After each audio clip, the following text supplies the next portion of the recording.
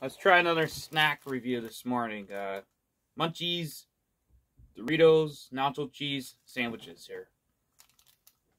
So, sandwich crackers. I tried the Cheetos ones, but they don't sell the packs of these. Um, they only sell like individual ones. I don't know why, but they just sell the individual ones. And these actually do taste like Doritos. Actually pretty good, actually. I wish they would sell packs of them, but they don't. They only sell packs of the Cheetos ones, which I really don't get why. They're relatively cheap, too. They're not, like, that expensive.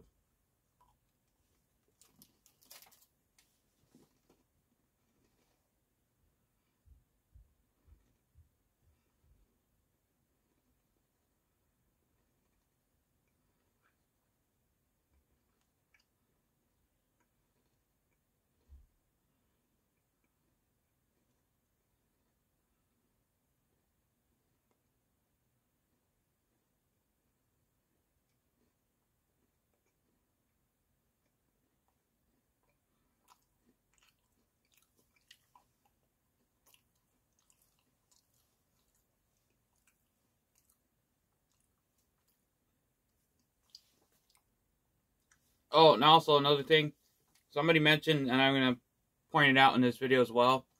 The other day, somebody mentioned, why are my flags backwards? Well, they're not. Just how the it's just how my camera is. So, they're not backwards at all. They're just how my camera is. So my flags aren't backwards.